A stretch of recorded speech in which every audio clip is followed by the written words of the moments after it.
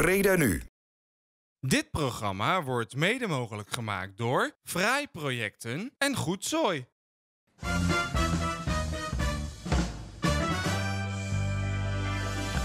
Ja, welkom allemaal en leuk dat je weer kijkt naar een nieuwe aflevering van Mike's Mini Pub Quiz. Vandaag weer twee kerstverse kandidaten, Frank en Pim. Hallo, mannen. Hallo. Echt een mannelijke uitzending wo- wordt dit volgens mij. Super gezellig. Frank, jij eh, bent HBO-docent. Ja, klopt. Wat geef jij voor les? Ik geef eh, verschillende vakken. Ik eh, werk zowel voor de fysiotherapieopleiding als voor de circusopleiding, Mhm. voor dezelfde HBO-school. En voor de fysiotherapieopleiding geef ik vakken zoals biomechanica, fysiotherapeutisch handelen, gedragswetenschappen. En voor Heel de circus... veel. Ja, dat is ook nog best wel veel. ja. ja. En voor de circusopleiding is het met name anatomie. Oké, circusopleiding? Ja.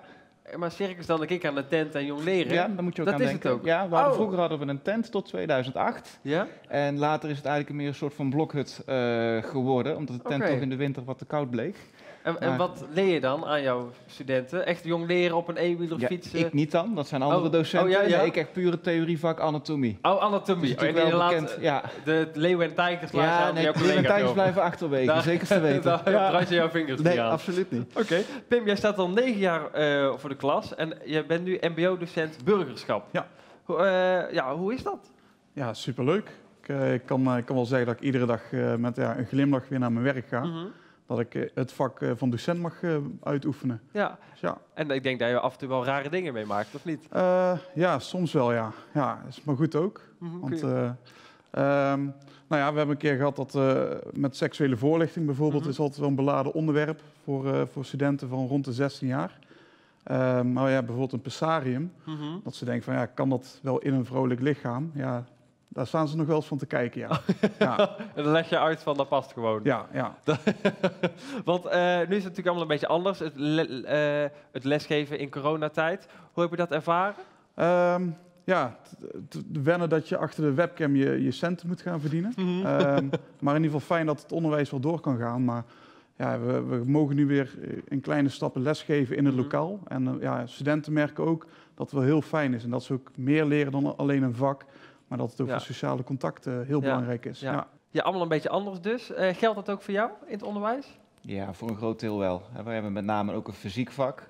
Dus je moet Mhm. veel therapeutische handelingen laten zien. Dat is niet iets wat je via een schermpje kan, eh, kan uitleggen, uiteraard. We proberen het wel, met allerlei filmpjes en allerlei eh, andere zaken. Maar dat is toch wel echt heel erg moeilijk. Ja. Dus, ja, Jullie zijn eh, vrienden, al, al hoe, hoe lang al? ik denk nou een jaar of Een vijf. jaar of vijf? Vijf, hoe, hoe hebben jullie elkaar leren kennen? Hoe is, hoe is die vriendschap ontstaan? Ja, eh, volgens mij was het de eerste keer dat ik jou zag eh, aan het zwembad in Ja, Turkije. ja. Toen ik eh, ja, als extraatje van mijn relatie met mijn huidige vriendin Ja, Mhm. ja, aanwezig mocht zijn als gast bij zijn huwelijk. klopt. Oké. ja. Ja. klopt. En toen eh, was het gewoon heel gezellig en dacht je van wij gaan vaker afspreken. En, Ja, ja, ja, want eh, hij is toen een beetje min of meer eh, bij ons weggezet. Hè? Een beetje aan zijn lot overgelaten. Want de dames gingen natuurlijk andere dingen Mhm. doen. En ik was samen met een andere maat van mij. Toen zijn we met z'n drieën eh, ja, gewoon doorgaan zwemmen eerst, weet ik nog te Mhm. herinneren. En later eh, zijn we ook verder de Antalya ingegaan. Oké. Dus nou, dat was gezellig. wel echt gezellig. Nu na vijf jaar staan jullie hier Ja. tegenover elkaar. Want eh, Pim, je bent wel een spelletjesman, toch? Hoe denk je dat jij het vandaag gaat doen? Ehm, ja, ik ga mijn best doen natuurlijk, maar ik, ik weet wat de kennis ongeveer is van, van mijn tegenstander.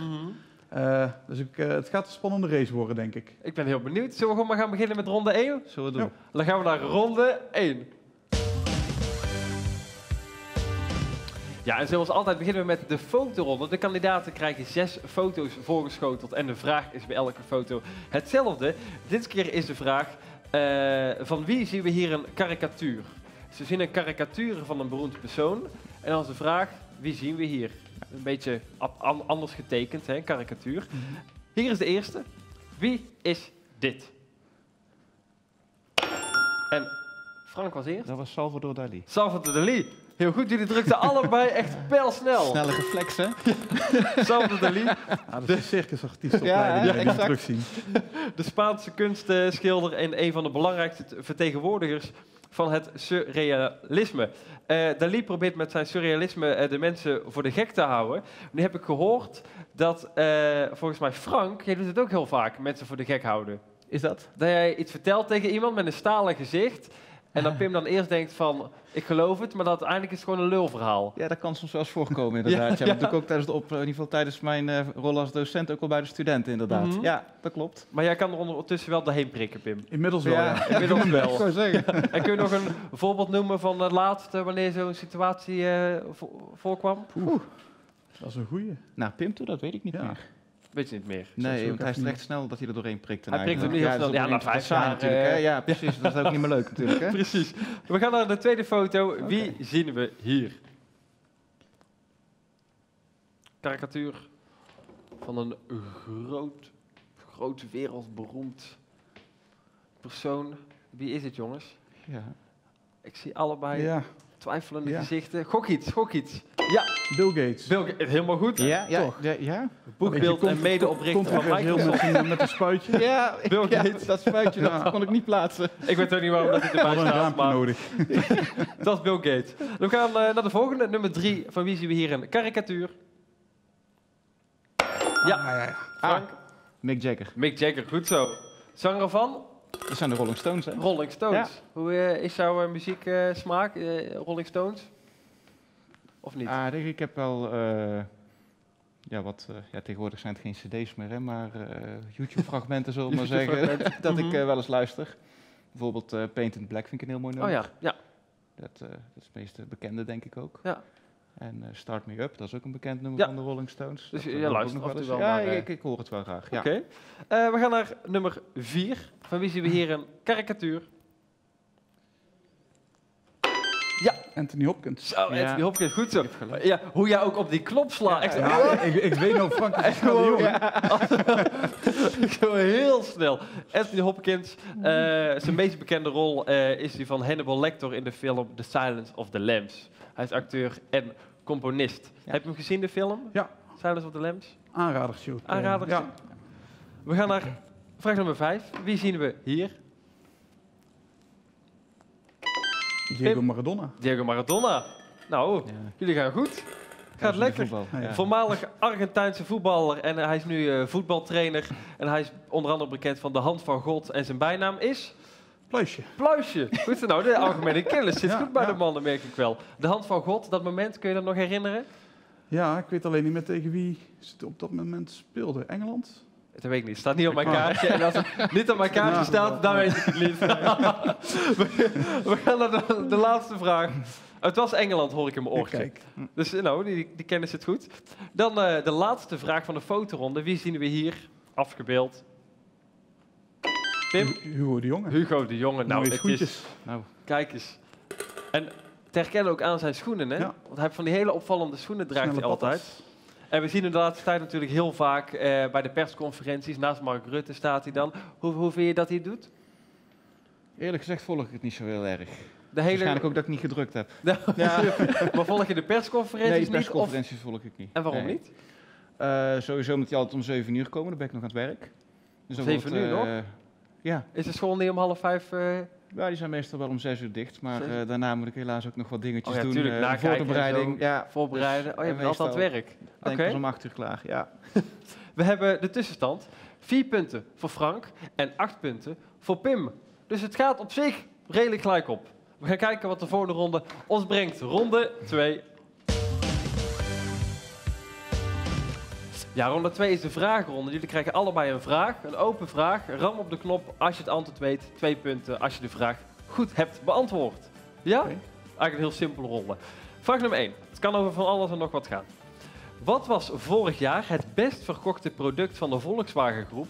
Met maar liefst 6,8 miljoen exemplaren werden er in 2019 meer dan verkocht dan auto's. Goeie vraag, hè? Dus er zijn er 6,8 miljoen van verkocht in 2019. En er zijn er dus meer van verkocht dan auto's. Ja? Motoren? Motoren? Nee, helaas fout. Eh, koelkasten. Koelkasten? Ook fout. Helaas. Het zijn curryworsten.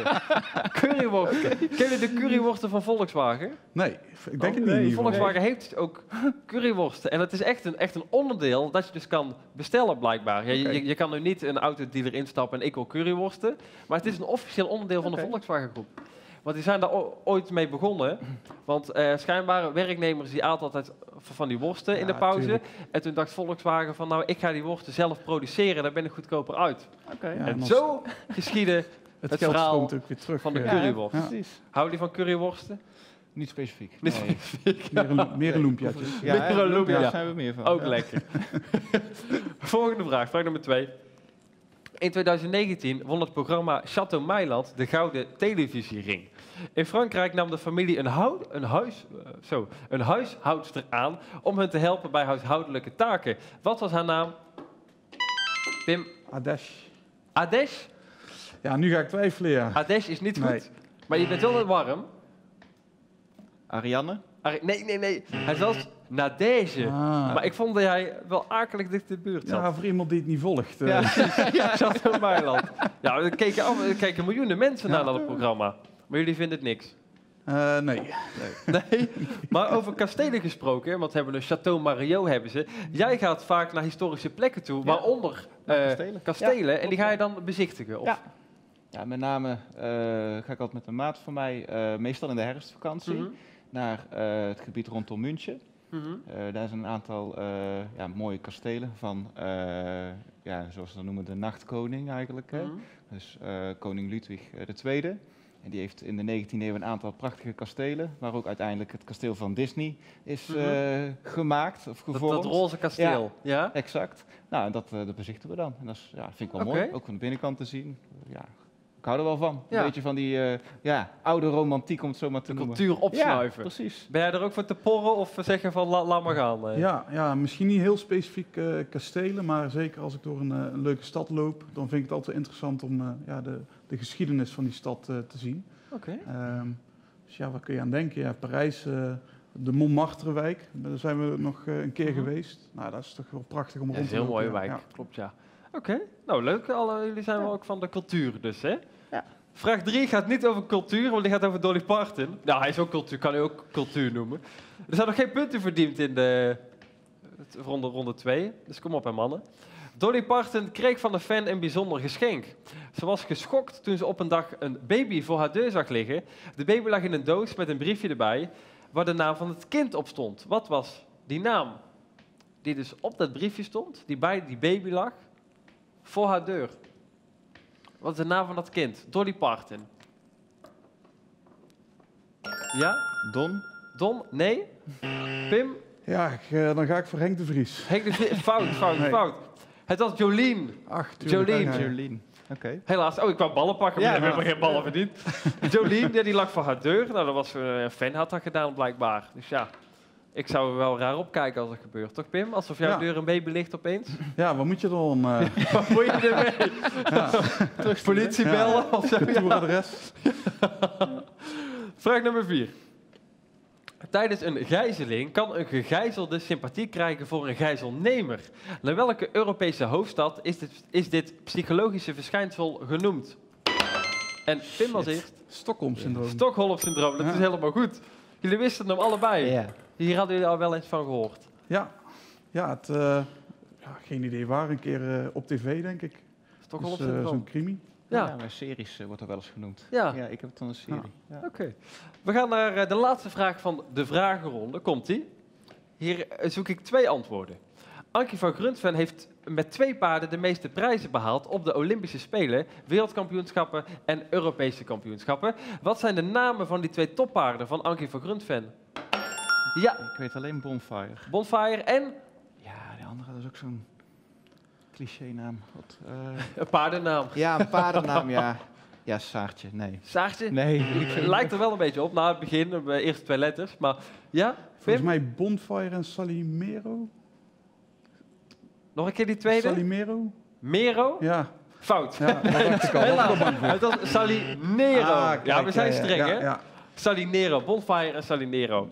Eh, ja, daar heeft ze heel veel eh, prijzen mee gewonnen. Eh, ja, ik neem aan dat jij geen paarden hebt gehad in je leven. nee, nee, maar wel vissen. Ja, Vissen. Ja. Heel veel aquariums. ja. Toch? Was vroeger dat een beetje jouw, wat, wat, was dat jouw passie? Ja, nou vroeger bij mijn ouders thuis, die hadden ook een groot aquarium. En daarvan Mhm. heb ik een beetje die, die liefde overgenomen. En Mhm. ik denk toen ik een jaar of 13, 14 was, heb ik ook drie bakken gekregen. Oké. En hoeveel bakken had je uiteindelijk? Drie. oh, drie, dat was ook jouw max. Ja, ja, en ik dat dacht, je hebt een heel huis vol vissen. Nee, nee, nee. Nou ja, goed, dat is genoeg toch? Drie is wel veel, ja. Ja. Waren het dan grote bakken of eh, Ja, van va- een meter ongeveer. Een Van een meter? Ja. Drie meter aan, aan vis? Maar wel ge- ja, drie verschillende bakken Drie verschillende Ja. ja, dat snap ik. maar die moest je ook allemaal onderhouden en eten geven. ja, nou ja, dat was vaak ook het probleem waardoor ik ze uiteindelijk gewoon niet meer mocht. Daarom ja. zijn ze ook weggegaan. Als je begint een vrouw krijgt, wordt dat lastig, zeg Ja, maar, die dat is combinatie om vissen te houden. Ja. Heb jij huisdieren? Eh, ik heb op dit moment een kat. Mhm. Ja, een eh, mooi pluizig beest. En eh, ja, heel, heel veel aandacht heeft ze nodig. Maar Ja. mooi beestje, lekker gezellig. Hoe, hoe heet de kat? Sia. Sia. Ja, naar de artiest. Van Sia. Ja. Die, we- die met het zwarte haar zo... ja, mijn vriendin die is er helemaal fan van. Als ze Mhm. mij had gelegen, heette ze juffrouw Jannie. Maar, Van eh, Jannie ja. van oh, Heel Holland Bakt. Eh, nee, dan nog niet eens. Ik vond het gewoon een leuke naam. Oh, juffrouw Jannie. nou, leuk. Hartstikke leuke naam. We gaan eh, even naar de tussenstand kijken. Frank Ja. heeft vier ballen in zijn vaas verzameld. Jij hebt tien ballen in de vaas verzameld. Dus, hè? hm, hm, hm, we gaan kijken hoe het gaat lopen. Kom op, hè, Frank. Ja, even een tandje of erbij. power Hè? wordt anders nou, eh Pim. Het is, eh, Zijn jullie goed in muziek? nou ja, Ja, als je met wat oudere nummers komt en niet hedendaagse We muziek. gaan kijken wat Ja. de muziekronde ons brengt. Ja, de muziekronde. We zijn op zoek naar titels en artiesten van verschillende liedjes. Even kijken voor jou. Er komt van alles voorbij. Jong, oud, alles, eh, vrouw, man. Er komt van alles voorbij. Eh, dit seizoen hebben eh, de muziekrondes ook een thema waarin die liedjes vallen. En dit keer is het thema, deze liedjes staan er gekleurd op. Gekleurd op. Ja? Kun je daar iets mee, Pim? Ja, ik kan wel refereren aan een nummer van de Rolling Stones. Bijvoorbeeld Ja, Painted Black. ja. Wat bedoel jij? Die staat eh, niet op de, op de kaart, dus eh, helaas. Maar het ha- ha- had mogelijk geweest Ja, zijn. jammer. Denk in die richting. Ja, ja we zullen gewoon gaan beginnen met de eerste hit. Hier komt hij. Titel en artiest. Even kijken, Pim. George eh, Baker, Little Green Bag. Little Green Bag. Ja. En officieel nog George Baker Selection, maar Ja, George Baker ja. is gewoon prima. Met Little Green Bag. Dus green, groen komt in de titel voor. Nummer 2, titel en artiest. Ja, Pim? Het is Prince met eh, Purple Rain. Purple Rain, goed zo. Purple. Alsjeblieft. Kom het je eigenlijk lekker vol zo? Ja, ja. Nee, ja. We hebben een grotere. We hebben geen grotere. Even kijken. Eh, ja, heel goed. Purple Rain van Print. We gaan naar de derde opgave. Titel en artiest. Tim? Amy Wine- Winehouse met eh, Black. Black is ja, niet goed. niet volledig zeker. Nee, Black is niet goed. Dan mag Frank Ja. nog een keertje raden. Nee, ik weet het, eh, ik weet het ook niet helaas. Je weet het Nee, niet? Het nummer was Back to Black. Back Ja, to Black. Van ja. Amy Winehouse. Amy Winehouse had Ja. je wel goed, maar Ja. Back to Black een heel was mooi fout. nummer, ja. Ja, ja, heel mooi nummer. Jij houdt van pop uit de jaren 70 en 80 en 90. Ja, Eigenlijk, bijna alles hou je eigenlijk van. jawel, ja, zeker. Maar je vindt Turkse volksmuziek ook mooi. Ja, zeker. Dat Hoe kom je Dat daarbij? ik een Turkse vrouw heb. Turkse vrouw, Ja. natuurlijk. Hoe heb je die leren kennen? Die heb ik eh, tijdens mijn stage in Istanbul leren kennen al eh, in 2007. En toen was het gelijk liefde op het eerste gezicht. Ja, min of meer. Is Ja? natuurlijk een beetje langzaam naar elkaar toegegroeid, maar eh, ja. Oké. En zij ging studeren in Nederland en zo konden wij een mooie relatie blijven behouden. Ja. En toen gingen jullie trouwen. Ja. En toen mocht Pim En toen kwam zijn Pim, bruiloft ja. Maar je hebt dus die bruiloft meegemaakt in Turkije. Ja. Dat is een heel andere bruiloft dan hier in Nederland. Ja, dat kun je wel zeggen, ja. Hoe was dat om mee te Eh, maken? Nou ja, bijzonder. Eh hele andere setting natuurlijk, maar ook ja, de, ja, de tradities die bij eh, het huwelijk horen. Mhm. Dus ik weet nog goed dat we bij de, de, de moeder van, Oh ja. van de vrouw van Frank zaten. Ja. En daar zat de imam bij. En ja, dan moest Frank even een klap geven op een stuk papier. Van ja, wat ga jij je vrouw of je ex-vrouw dan geven? Ja, Mocht jullie gaan scheiden. Dus ja, daar stond hij ook verrast bij. Oké. Ik zal niet vragen wat je op dat briefje hebt geschreven. Dat laten we, dat laten we bespaard. En eh, je hebt voor mij ook andere dingen gezien op die bruiloft. Er staan ook nog dingen op jouw net netvlies gebrand, ja, of niet? helaas wel, ja. Zoals? Frank, eh, Frank met een, eh, een eh, buikdanseres. Die, eh, nou dat is ja, niet helaas.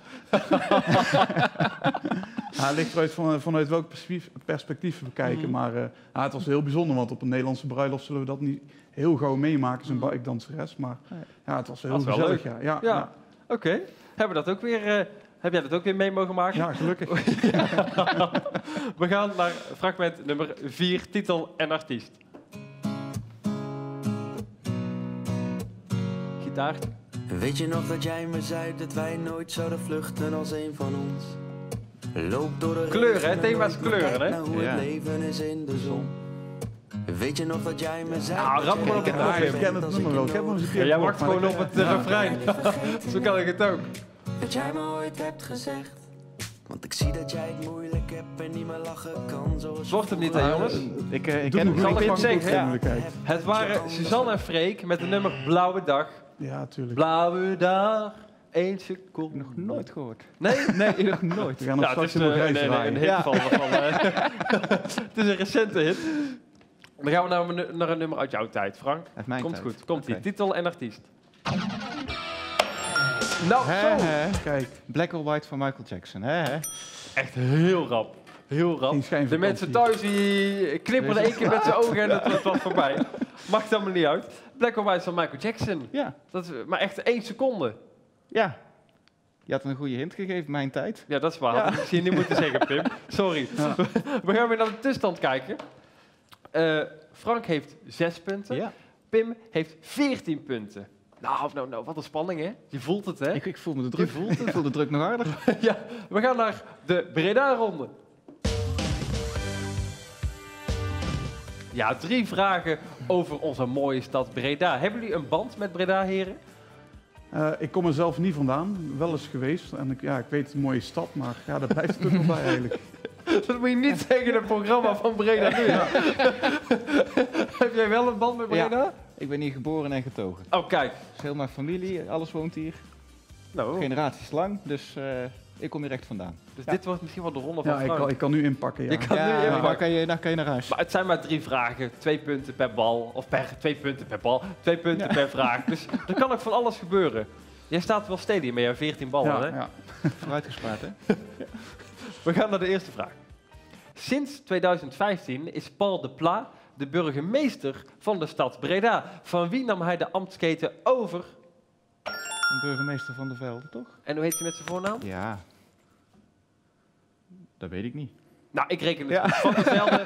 Hij, hij heet Peter. Peter. Peter. van der Velde, maar Ja. van der Velde is goed. Want de burgemeester spreekt ook vaak met met de de achternaam aan, achternaam. ik bedoel. Precies. Daarom, dat mag van mij. Peter. Ja, Hey Peter! ja precies.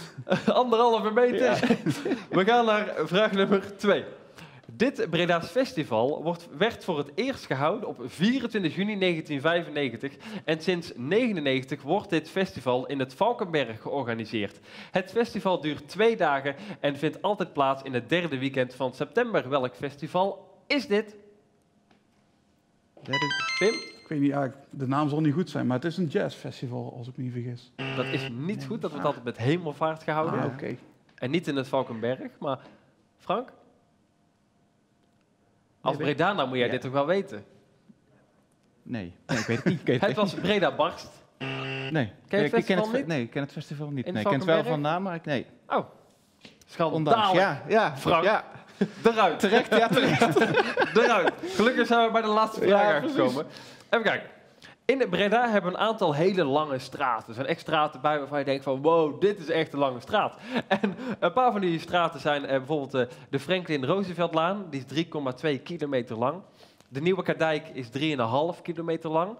Maar de langste straat is 3,8 kilometer lang. En nu is de vraag, welke straat is dat? Dat is de Baronielaan. Dat is fout. Is dat fout? Ja.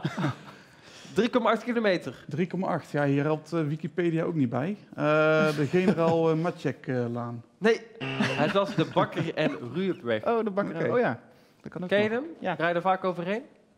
Er werd een noordelijke rondweg is daar. Ja, Ja. denk het wel. Ik weet niet, ik heb Oh. geen rijbewijs. Oh. Maar, nee, maakt niet uit. Eh, we gaan naar de eindstand, heren. 8 punten voor Frank, 14 punten voor Pim. Dat betekent dat Pim de winnaar is van deze aflevering van Mike's Mini Pub Quiz. Applaus! Netjes hoor. Ja, dankjewel. dankjewel. Weet je wat je hebt gewonnen, Pim? Eh, nee, nog niet, nee. Dan zal ik even de fantastische prijs naar voren halen. Je wint namelijk de Mike's Mini Pub Quiz trofee. Kijk, ben ik heel blij mee. Nog maar een keer applaus. Ja, ik zet hem hier neer. Ja, dankjewel. Corona-proof. Je mag een afscheidsspeech houden. Nou ja, ik, eh, ik kan wel zeggen dat ik heel trots ben op eh, de prestatie en dat ik deze zeker heel vaak mee ga nemen als ik eh, op bezoek ga bij Frank. Ja, precies. Nee, als, je, als je samen gaat eten, dan, Ja, dan, hup, zal zet je deze de dingen gewoon op tafel. Ja, precies. Frank, eh, is het moeilijk om het te incasseren nu? Nou, het is een beetje macht en gewoonte geworden. Ook bij andere spelletjes wint hij altijd. eh, dus eh, nee. Ja, hij speelt heel Helaas. veel spelletjes. Hè? Ja. Cup heb ik gehoord, snel. en Ticket to Ride. Ja, Hij doet van alles. Nou, maar het was gezellig. het was toch, zeker leuk. Zeker ja, weten. mooi. Ja. Ik vond het ook heel leuk. Ik wil de mensen thuis allemaal bedanken voor het kijken. En hopelijk zie ik u de volgende keer bij weer een nieuwe aflevering van Mike's Mini Pub Quiz. Houdoe. We mogen ook houdoe zeggen, hè? Houdoe. Houdoe. Ja, goed zo. Houdoe. Dit programma werd mede mogelijk gemaakt door Vrij Projecten en Goed Zooi. Breda nu.